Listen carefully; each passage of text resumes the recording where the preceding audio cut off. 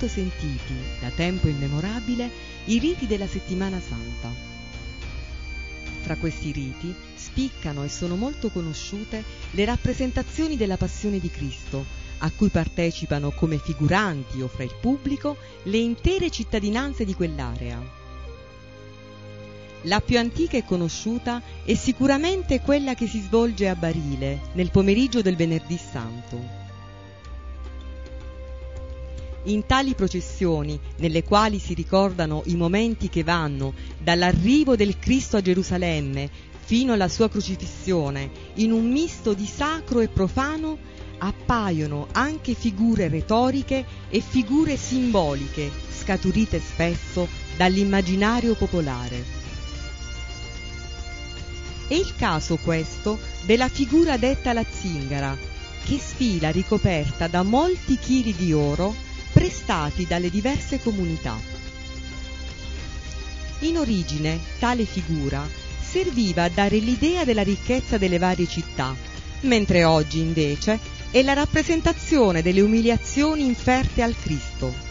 Per tale motivo oggi la zingara nelle diverse sfilate irride Gesù e quando questi cade gli butta addosso della frutta secca presa da un cesto.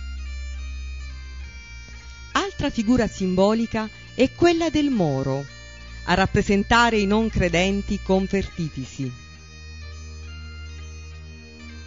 Fra gli sfilanti vi è poi un figurante incappucciato che continua a sferzarsi. È Malco, la guardia del Tempio a cui, durante la cattura di Gesù, San Pietro mozzò un orecchio che fu miracolosamente guarito da Gesù stesso. Si sferza quindi come autopunizione per aver partecipato alla cattura. Anche Rio Nero, da decine di lustri, ha una sua rappresentazione della passione di Cristo, che è sempre stata organizzata sotto l'egida della confraternita Maria Santissima del Carmelo. Dagli anni 70 del secolo scorso, la Via Crucis di Rio Nero si è sempre contraddistinta per una sua particolare peculiarità che l'ha resa unica nel suo genere, la drammatizzazione.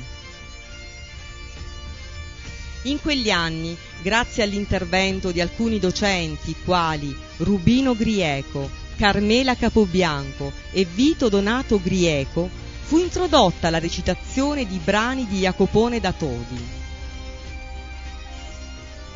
Dal 2002, con l'intervento dell'associazione Mele Marce e del suo presidente Nicheo Cervone, fu introdotta anche la recitazione dell'ultima cena, della cattura, fustigazione e processo a Gesù e infine dell'impiccagione di Giuda.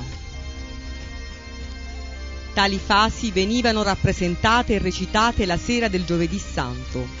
In quegli stessi anni venne introdotta anche un'altra figura allegorica, quella della tentazione, che, grazie alla fantasia di Nicheo Cerbone, assunse il ruolo di chi, facendo leva su bellezza esteriore e ricchezza effimera, configurate dall'avvenenza della figurante e dalla ricchezza del suo costume, spinge Giuda prima a tradire e poi ad uccidersi.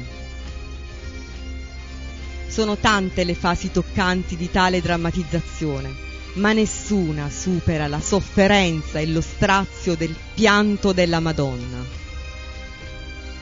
La madre che ai piedi della croce, dopo aver assistito a tutte le sofferenze del figlio, lo tiene, ormai morto, fra le sue braccia parlandogli. Questo è ormai il secondo anno che a causa della pandemia anche questa tradizione si è interrotta.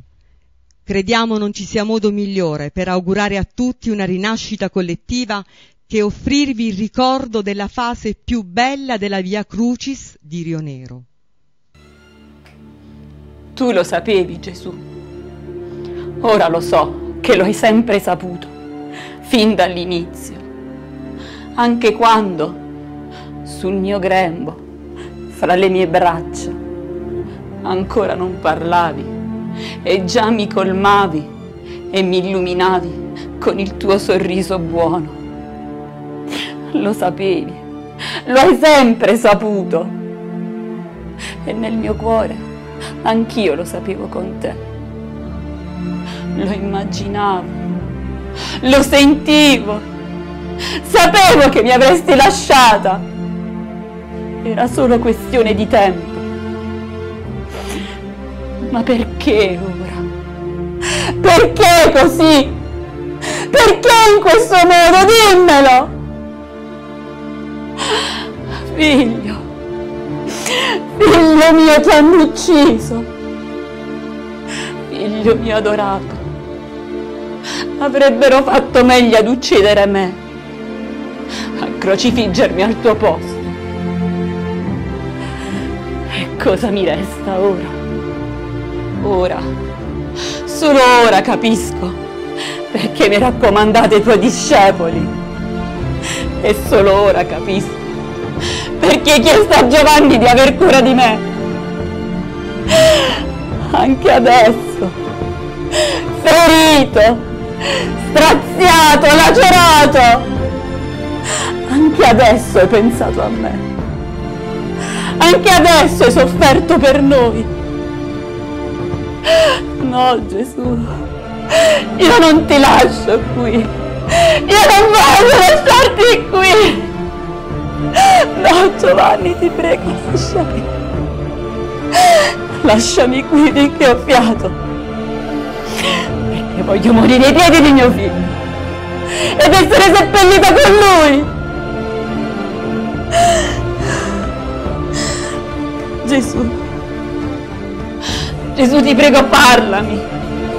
Rispondimi sola.